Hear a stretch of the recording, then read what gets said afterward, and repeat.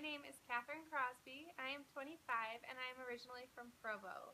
I have spent the last five years living in Southern California and recently moved back to downtown Salt Lake so that I could be closer to my family.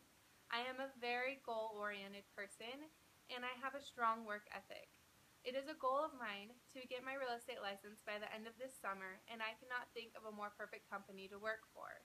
The Muve Group has been able to keep its stellar reputation through its exceptional customer service. Kathy Snide is exactly who I would want to learn from. She really understands people and cares about her clients. The type of personalized attention she gives her clients is exactly what is needed to drive such a referral-based company. I know that I would be a great fit for this company. The years I have managing dental offices and doing administrative work has really taught me to focus on the details.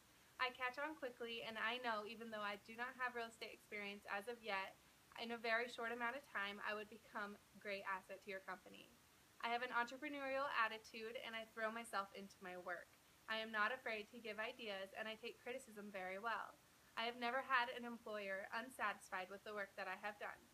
I know that a company that runs smoothly needs to have a clean office and an organized office.